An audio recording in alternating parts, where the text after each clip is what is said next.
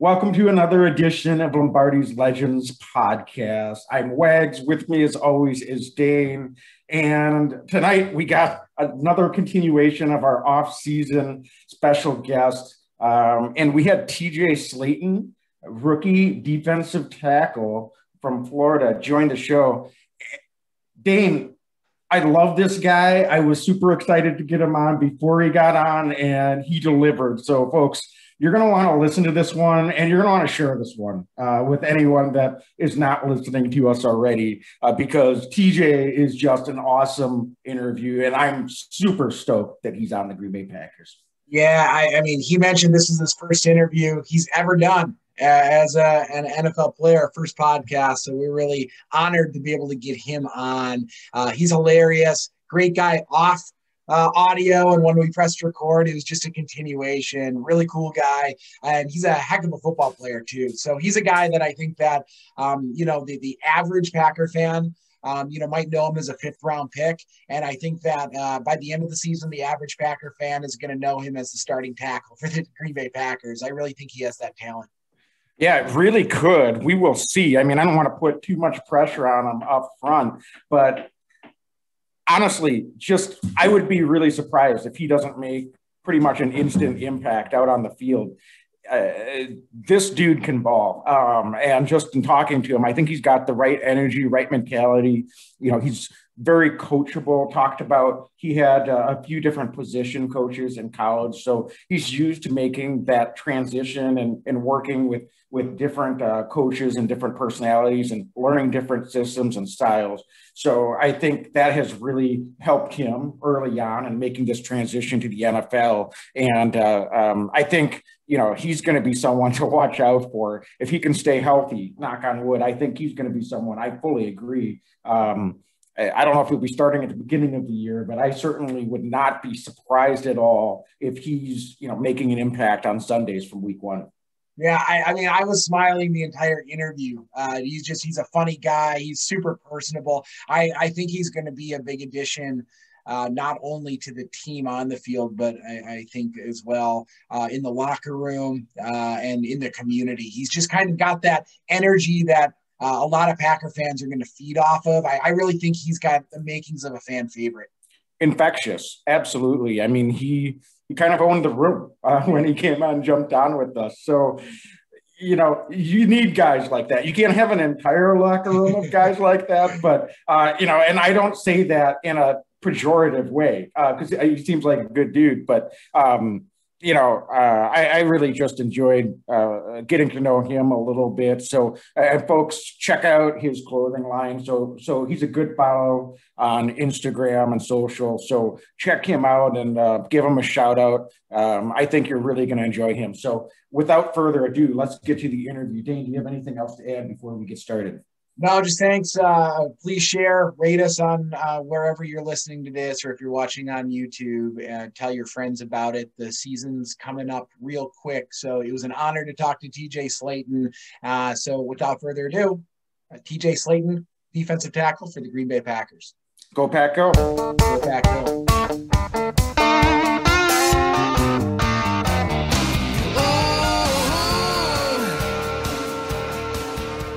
With us now is a very special guest, Packers defensive lineman TJ Slayton. TJ, how you doing tonight, man? Uh, I'm doing good, man. This, I'm excited, you know, to be on this and uh, just be with y'all. And, you know, just get the experience of doing my first uh, official uh, pro NFL uh, interview. Well, very good. We're honored to kick it off for you, um, and we're super pumped to have you on too. Uh, you yes, know, sir. we're not just saying this, TJ, because you're a guest on the show. Dane can attest to this. When we drafted you, and we say we like we're part of the Packers, right? Um, Dane and I were both super pumped. We're really excited about all you guys that we brought in, but I was like, that's the guy. That's the guy what we want. So we're really excited to talk to you tonight, man. Appreciate it. Appreciate it. It was really exciting uh, during that whole moment. Uh, it was just like a lot of nerves rushing, a lot of uh, frustration at the same time. But you know, I'm glad I'm in the place I am. uh, I'm happy to be in that environment and being on uh, that winning team. For sure. So, you know, just bigger picture, TJ, we always like to ask not just the process, and we'll, maybe we'll get into that a little bit more, but have you had a moment where you've been able to reflect and it feels real to be able to realize, wow, I'm a Green Bay Packer. So what's that like for you, man? Yeah, man, that moment is, is surreal. Uh, you know, I have those moments like all the time. You know, I don't know if other Rickies have those moments all the time, but I have those moments all the time. It's like walking into that building it's just like it's just a crazy feeling. It's like, yo, like I'm I'm in the league. Like, you know, like I'm, I'm a, a professional athlete. Like, like what? Like this is crazy. Like, and it's like, and then it's crazy because like I'm a Florida boy and like, and I'm not like any Florida boy. Like I'm from down south. Like I'm from the bottom of Florida, and like now I'm going like all the way to the top of the United States. So it's just like, damn, like I'm going so far. It's like it's different weather. Like the time is different. So like doing all that research and, and, really knowing like how the seasons work and like you know the, the, how big the town is is like yo like this is what i'm really going into is like and then it's like like i like i said again it's like i'm in the league now like i'm in the nfl like places where a lot of people can't get and like places like where people make their careers in these places like it was just a crazy feeling like i have that feeling like every other day like when i think about it do, do you own a winter coat yet? That's that's my first question because it gets I cold. I don't have any winter coats yet, but I have some pretty thick jackets. I got a well, I got a bunch of varsity jackets. Uh, you know those pretty thick uh, and and layered up. So I got a couple of those. But uh, far as really thick winter coats, like nah, I haven't got any. I need to uh, hit up uh Nordstrom Rack. That's right. you might have to get. I don't know if you know Joe Namath or Joe Willie style. Just get a big, nice fur coat. That'll give yeah. you some. That'll give you some warmth when it starts. The wind starts blowing. Because I don't know. Um, layers is one thing, but it does get cold up here. That's the face. Sure. It's the face and the hands for me. Like it's the face and the hands. It's just too. Those get cold. Oh my god, I'm freezing. Real talk. We'll send you some hand warmers. Those are the the deal right there. The hand warmers are the big deal. I need some. I need some. Yeah, the Cabela's right next to Lambeau Fields. You just got them. got them in, in uh, major packages. Uh, so, what have you been to Green Bay yet, uh, TJ? Have you been up to? You've been there for mini camp, obviously. What's your first impression yeah. of the city itself? Oh, when I first my first impression is when I got there, I, I expected to be like super cold already. So it's like when I got there, my first thought was coming off the plane was like, oh, it's warm. I was like, okay, it's cool. I like I wore the perfect things, like you know, a little short sleeve shirt, some some sweats. Like okay. And then when I got outside, when I got outside, it was like it was nothing. It was like nothing around. It was like a whole bunch of land and like wheat fields. I'm like, bro, where am I? where am I? Right? Because I'm used to the city, you know, fast traffic, a lot of lights. And it's like, where am I? Like, I don't know where I am. It's like, what is this? I've never like seen this type of like scenery before. And like my first time going down to the strip, he was like, I'm driving on these long roads. There's no houses around, just nothing but grass, just clear skies everywhere. Then when I hit the strip, it's like, okay, now this is where all the stuff is. Like this is what I'm used to seeing, like a lot of stuff, a lot of stuff moving around. But that was like the, the craziest thing, like that it hit me when I hit it when I stepped outside that airport and it was like nothing around. I was like, yo, like yeah. I've ne- never seen this before. Like, why are there so many fields everywhere? Like, why is like nothing built in these in these spaces? it's like, oh man. Yeah, TJ, I don't know if the coaching staff would buy this as an excuse, but Green Bay might be the only NFL city where on the way to practice, a tractor could slow you down and make you late. So I'm not suggesting that is a good excuse, but it's actually plausible. You never know. Yeah, that's what I'm saying. Like that's uh that was one of the things I was thinking about because you know being up there already, like being with the vets and and being uh intertwined with the older guys and them, you know, giving me a little bit of knowledge of how the city works is they told me about the tractors. It's like, yo, what they they could take to how long? It's like, like yo, if you're not like early, like the tractors can set you back like 20 minutes. Like that's how much snow they be having to move off the roads. I'm just like, no way, like no way, like what? like, I'm going to be having to be leaving like two hours before, like during when it when it starts to snow. I'm like, oh my god. have, have you ever played in snow before? Never. That, never. Never. Never played in snow. Never sneak. Never even seen it. No kidding. So this is going to be a brand new experience. You've never seen like snow. that's yeah, brand new experience, brand new scenery. Like everything is going to be brand new. It's crazy, man. I don't, know. I'm ready for it though. You, I'm ready for. it. I'm looking forward to it. Yeah, I think that the deal is, and you'll learn this from your teammates quickly. And Wags and I talk about this a lot on the podcast. No sleeves, no matter how cold it is. We always find that the guys can't wear sleeves. We'll, we'll see them at, you know, your teammates during the playoff games. We go to the games, and you know, no one's wearing sleeves out there. Yeah, that's uh, our RG, uh, Rashan Gary. He be telling me that all the time. He was like, bruh the only way you're gonna get used to it being cold is like just to go out there with no sleeves, bro. No sleeves, Vas- Vaseline and no sleeves. That's the only way you're gonna get used to it.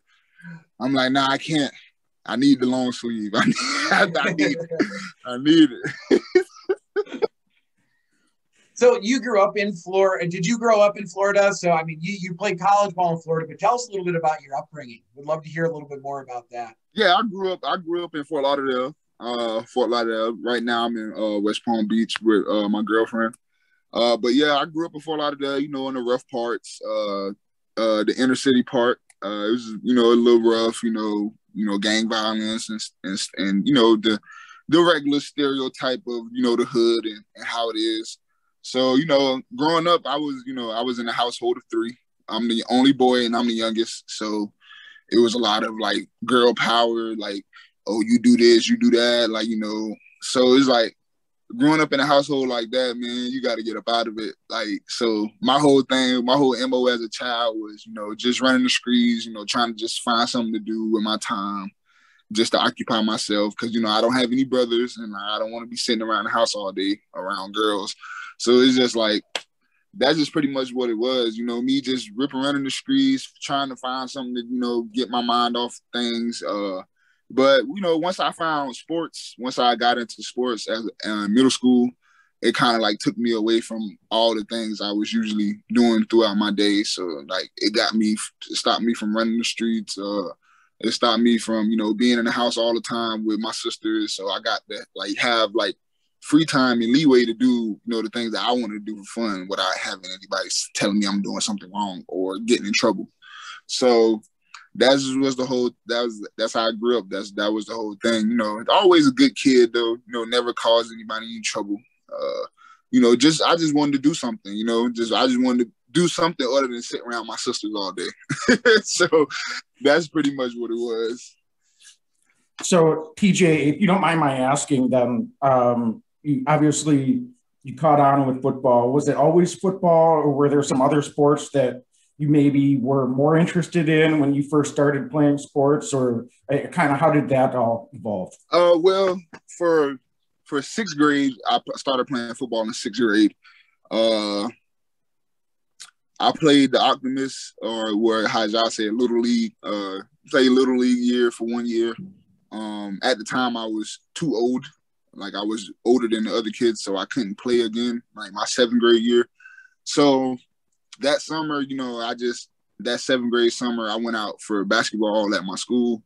You know, started playing basketball in the seventh grade, and I started in that same summer. I started playing AAU and uh, traveling. You know, going up and down from Georgia to Florida to all these other states to play basketball. Uh, for two years, I you know I really committed to it. That I really thought that's what I was doing. Like you know, I loved it. I had a feel for it. And then when I got to high school, uh, ninth grade came up you know, started then I started doing two sports, so it's football and basketball. Uh, then once it was time for me to you know make that decision, I started I started I chose football.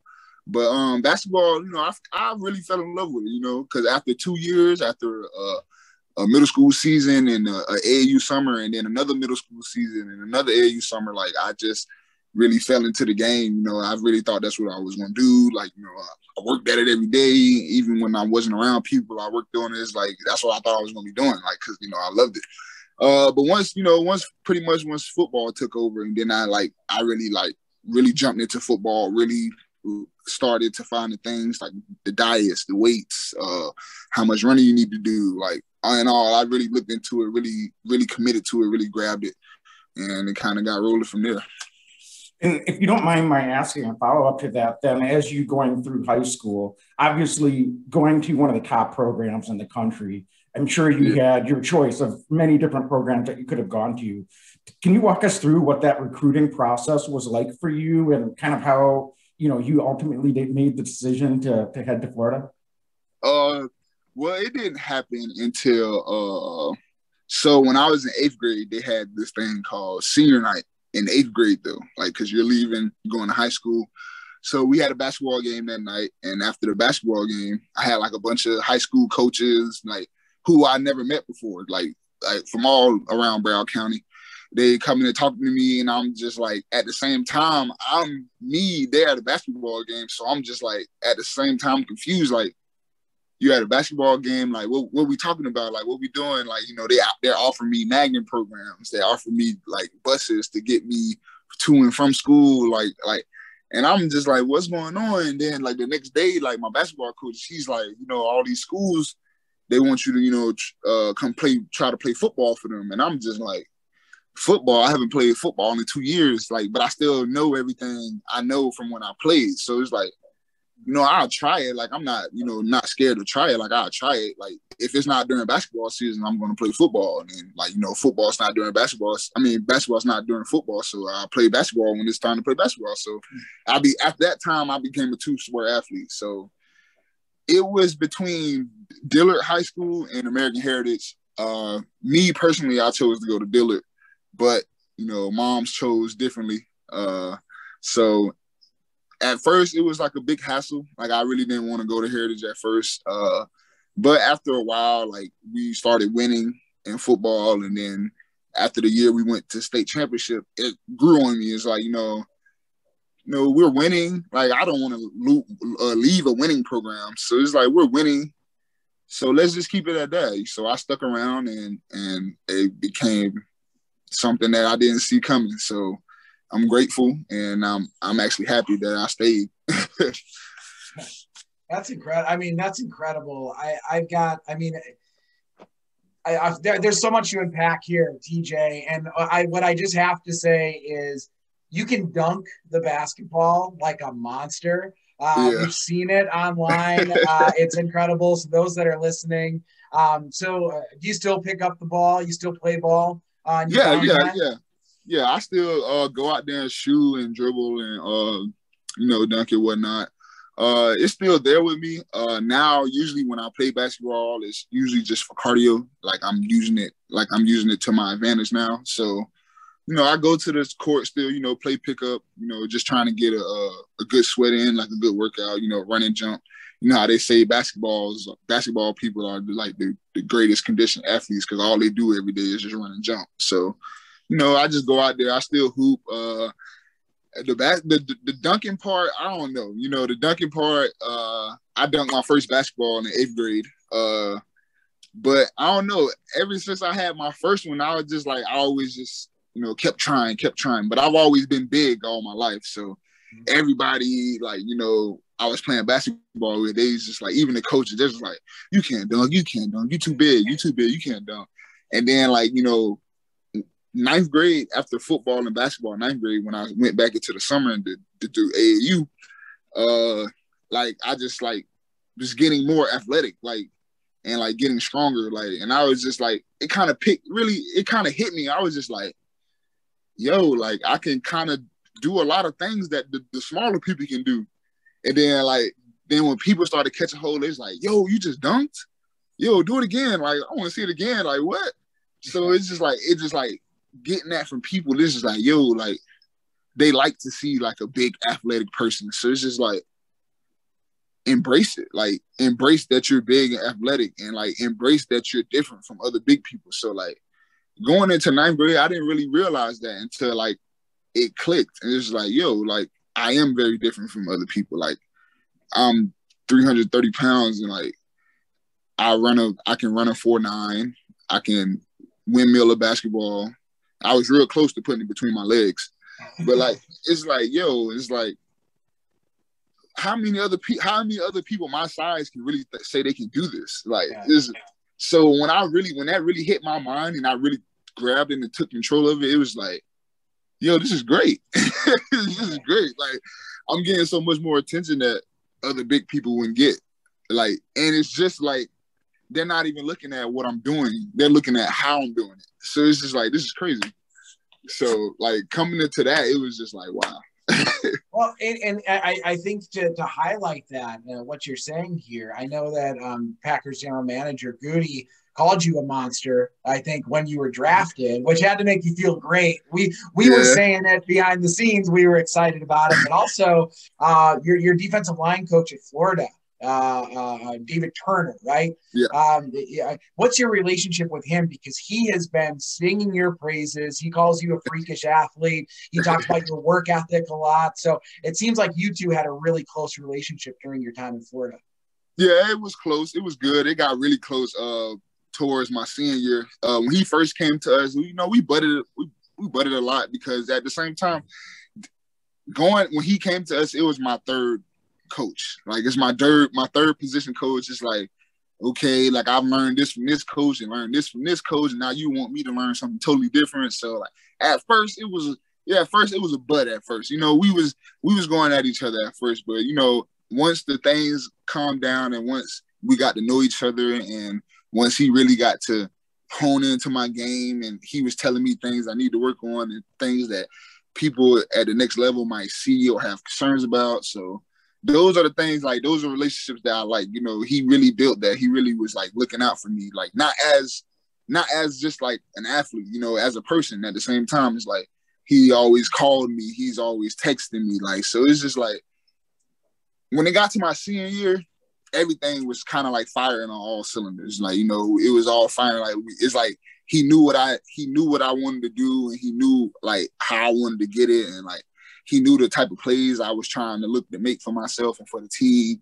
So you know, we always had little talks like control what you can control, uh, make the plays that you can make. Like you know, do your job. Like always do your job.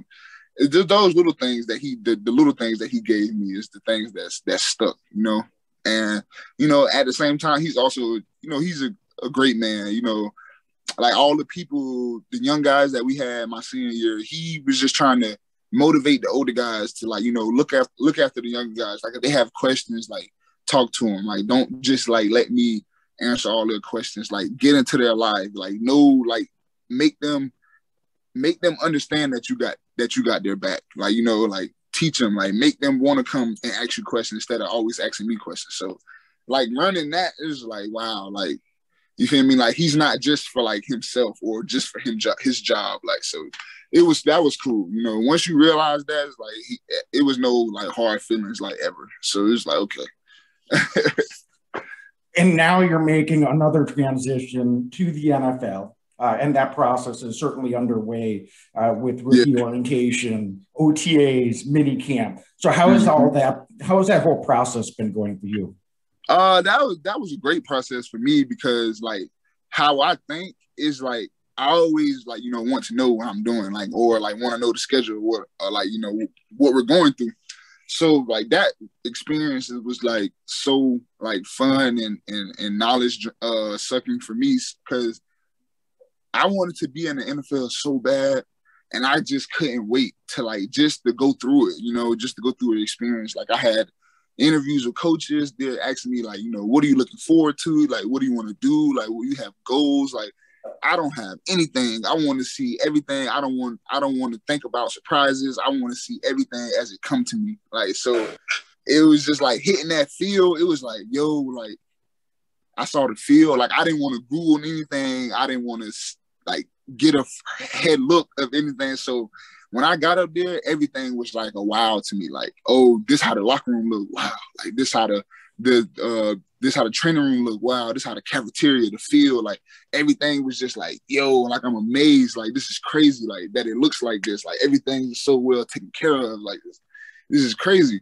So going into that OTA and training, uh, rookie minicamp and vet the vet minicamp, it was just like eye opening. Like you know how the coaches work, how like how they you see how their demeanors change from the classroom to the field and then you just see how the the vets work in the locker room, how they operate in the classroom, how they work on the field. It's just like, yo, like I never, like I never seen anything like this. Like grown, these are grown men really getting after it. So it's just like, yo, like it, you can't, you cannot just like not get hyped and energized just to go out there and do the same thing that, that, that they're doing with them. So like that was that was my take on it. Like I loved it. Like I love being out there with the guys and like having everybody out there. You can see everybody.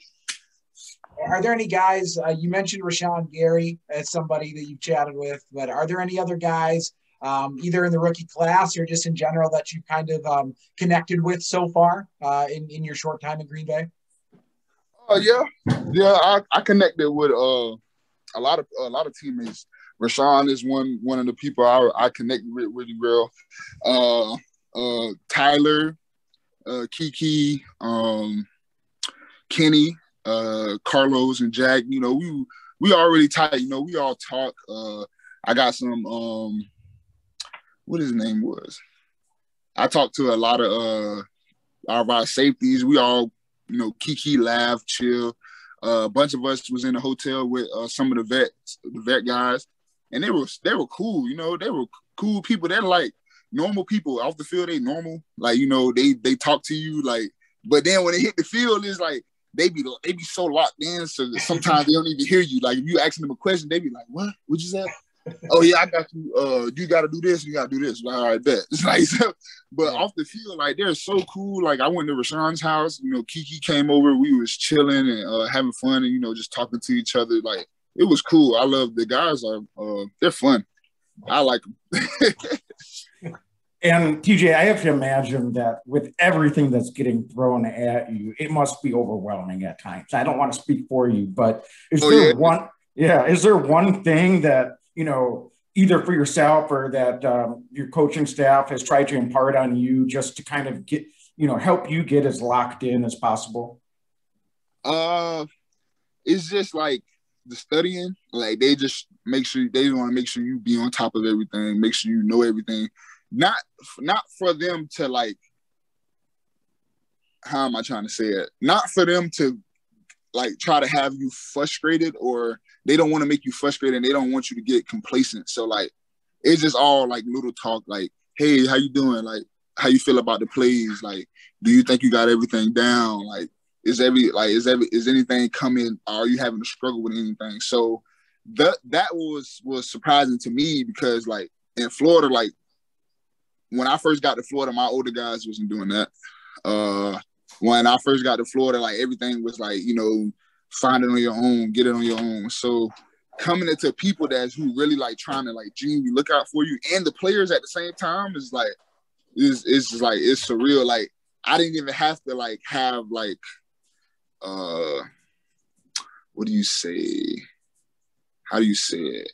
I don't want to say I had like distractions or I was having complications learning everything because they break everything down for you, you know? Like they try to make it as simple as, as they can. They're trying to help you as best way they can, and they're trying to help you the best way that you that you learn. You know, they're trying to like switch things around to help them be easier for you. So those are the things that like that really like wowed me. Like I was just like, wow. Like you feel me? Like y'all really trying to like make sure I get it. Like you're not trying to just like, oh, he's just another player. If he don't get it, we just gonna throw him to the wayside. Like, yeah. so that's the thing that really like surprised me that I was just like, yo, like I did not see that coming, like tight. You know, like I did not see that coming. Like I did not realize that y'all was gonna help me the way y'all trying to help me. like I did not know that. So like that was, that was the thing that really surprised me out of everything. That's that's really fascinating insight. And what, what what's your uh, impression then of Coach Barry? He's new to all of us, new defensive coordinator. So, you know, he's new to us. We're trying to learn uh, as much, I'm sure, as some of the players are. Uh, so, uh, what, what's his coaching style like so far? Uh, Coach Coach Barry, cool. I, I love him. Uh, he just a, a, fun, you know, outgoing guy who, you know, who loves the the hype, you know, who loves to get crunk.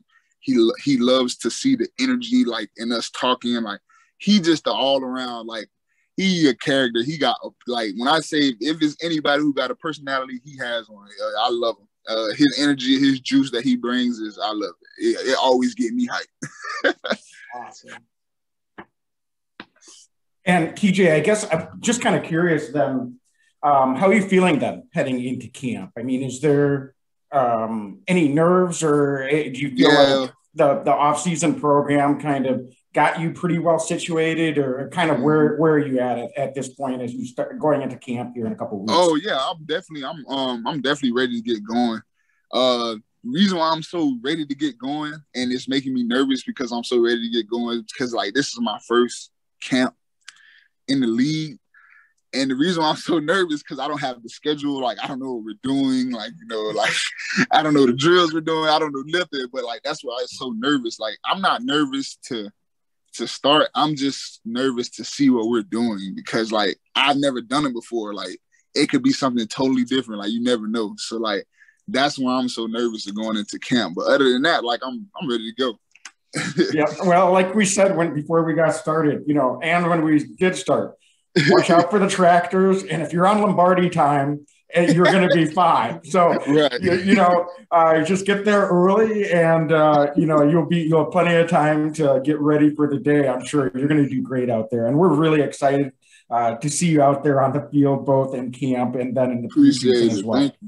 Yeah, I, I got a, I, and we want to be mindful of your time. I've got a couple questions, uh, kind of unrelated to football, uh, but we can pull it back into football. But music, uh, are you a music guy? What do you listen to before the games? I always like to get oh, recommendations. What are you into man. that gets you going? I'm an old soul, man. I'm an old soul. I, I love to listen to like uh 50s, 60s, 70s, 80s R&B. Like, you feel me? Like, that's my thing.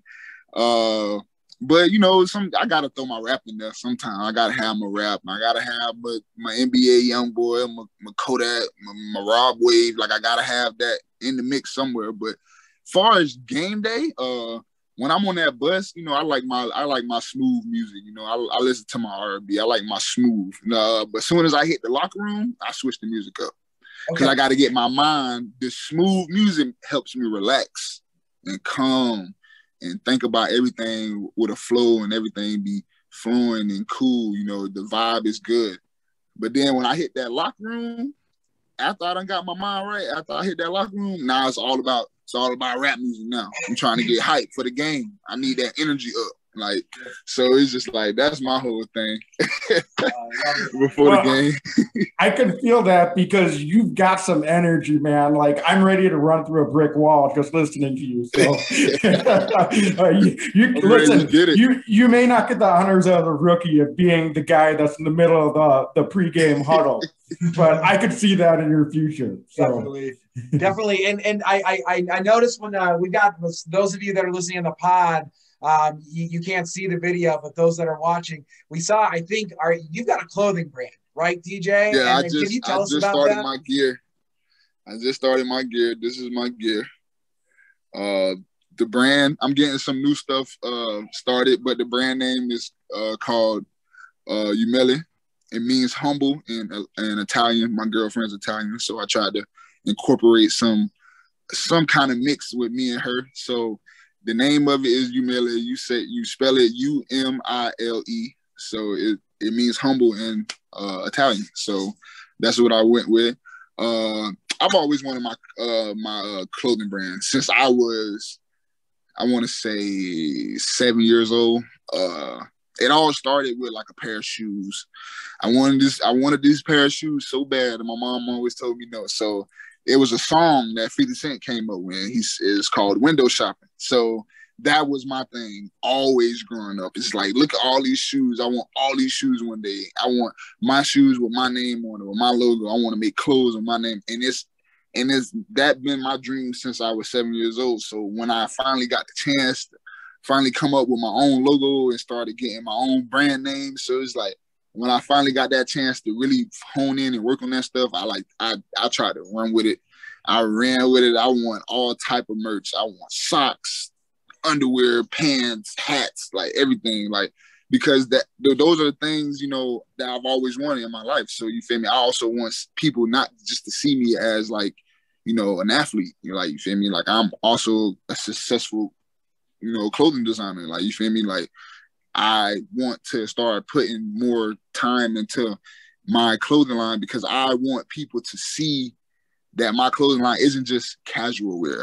It isn't just sportswear. Like you can wear this is like a this is a sports shirt, like a dry fit, but you also can wear, you know, wear it to dinner. It can be casual, like you feel me? Like those are the things I want to do. I want to expand it. Like I want to get all type of stuff, like you know, women's clothing. So you know, like like little women's crew necks, maybe like stuff like that. I've always wanted my clothing line. So now that I have it, like I can't wait to like start putting more and more merch out there. After, after a January in Wisconsin, maybe a winter jacket, maybe some gloves too. Oh uh, yeah, yeah. I see you. You got my vibe. You get my vibe. Yeah.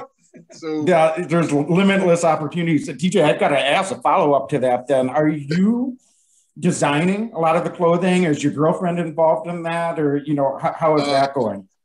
Uh, far as designs right now, I'm not into it. I'm not into the designing right now, but I also, but I have designs and ideas what I want, and that would think I would think would look good. You know, stuff on the bag, stuff on the side, stuff on the sleeves. You know, something maybe on like the high the back of the shoulder. You know, something like off the wall. I'm trying to do you know, something that'll grab people's attention and be like, oh, maybe maybe this shirt will look good. I want to buy it. You know, something like this to just really just grab people and be like, hey, this looks good. This looks good enough to buy. I, I, feel comfortable if I wear this. Yeah, for sure. And do you mind? If, so, did you speak Italian then too, or was that a name that your girlfriend helped you with then?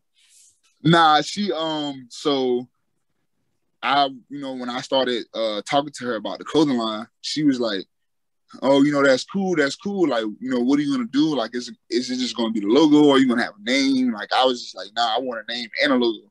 So I don't know. It just kind of hit me in college. I was just like, you know, we was talking about her heritage one day, and she was like, you know, I'm Italian, and my mom's like full Italian, and my dad's like this and this and Irish. So I'm just like, okay, okay. We've been together for a year and seven months. So I thought about it. I was just like, yeah, you know, maybe I'm I'm gonna incorporate you into some way, somewhere, uh, because her mom loves to cook Italian food, like loves to cook Italian food and make these things. So I was just like, hey, I'm gonna put something Italian in that that that that means something to me. You feel me? So she's always coming to me like, oh, you're humble, you're really humble. You you know, you you uh, go through situations that some people will be freaking out about. Like you know, you always try to keep yourself humble and look uh, to the solution. So I was just like, hmm, let me think about it. So I like looked up uh, humble, and I was looking like the translation for humble, and then I clicked. I was like, let's make it in Latin because she's Italian. So that's how I'm gonna be able to incorporate her into the brand name. So I was like, okay, since I have the logo, we're just gonna give you the name. But you feel me? So it's like since you're always saying I'm humble and you seeing how you love and I'm so humble, let's just do it as that, an Italian word for humble. so that's how it came to be. That's awesome. I love it. See, we get the backstory, folks. That's why you listen to Lombardi's Legends. We're finding out a lot of stuff tonight. Um, li- listen, TJ, one last question that I have for you. You've been so gracious with your time. Um, you're coming to a team that has uh, gone to back-to-back NFC Championship games. Mm-hmm. Uh, we'd like to we'd like to make it a third, and we'd like to go to the Super Bowl this year. Um, I, you are going to be a big contributor. We really believe that to the team this year, uh, both mm-hmm. on the field and off the field. There's no doubt you bring an energy uh, and a presence that I think is going to be infectious to the fan base. So, what are your goals going into this season personally, um, you know, in your first NFL season? Well, uh, like I said before, like the goal part, like because I just got here and I don't really, you know, really know the scheme and how the timing works and who's coach going to play and who's coach going to play here. So that's why I said I'm I'm looking forward to all surprises. Like I want to see everything head on. But really, I just want to contribute any way I can. You know, if that's special teams or defense, uh, I want to do everything that coach asks me to do. Um, you know, I just want to have, I just want to be that player who's really focused and locked in on the team and what the team needs and trying to help the team to win and get to where we need to be. So, you know, that's my whole thing, you know, coming in. I just want to help. I want to contribute wherever I can, you know, wherever wherever I can to help this team. And and if if that's playing, you know, and playing a lot, uh, and coach give me a higher role than what I expected, well, you know what? I'm gonna grab it by the horns and we're gonna ride it. We're gonna ride it till we get all the way to the Super Bowl, and that's the goal. Yes. Get to the Super Bowl, bring one back to this that town, and we're gonna rock it all the way. TJ, we are so pumped um, for the season to start. See you out there. Um, and I think we're going to let you go here in a second. But before we do, can you give us a go pack go? Oh, yeah. Go pack go. Go pack and go. Say, and I'm going to say it with some enthusiasm because I believe it. That's awesome. Well, thank you so much, TJ, for joining, and we really appreciate it. We'll give thank you a y'all. shout out when we're up in camp, and uh, best of luck, and um, you know, um, go get him this season. Appreciate it. Thank y'all. Appreciate y'all Appreciate having you. me. Thanks, TJ. Go back, go. Thanks, TJ. Right now. horseshoes and hand grenades. There ain't no second place in Lambeau. It's a whole new game.